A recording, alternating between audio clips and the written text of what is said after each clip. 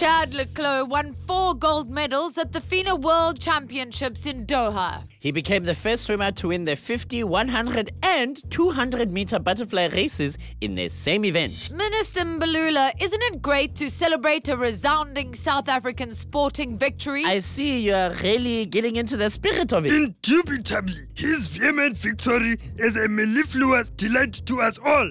Mellifluous? So it sounds good. Four gold medals sounds good to me. So what's next for le Clos? Well, Justice, uh, I have decided that this uh, magnificent sylph of a sporting star, the Victor Ludorum of us all, should be trained and enhanced to tackle all sporting codes with equal superlatoriousness. All sporting codes. So many of our sports people are losers. I want to replace them all with Chad. All? I don't quite. Yes, he can be our sports star across all our national sports. Isn't that a little insane? We will develop his quads to improve his running.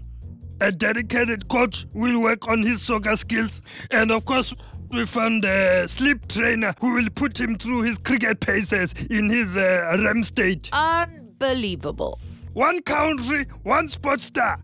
Latuma!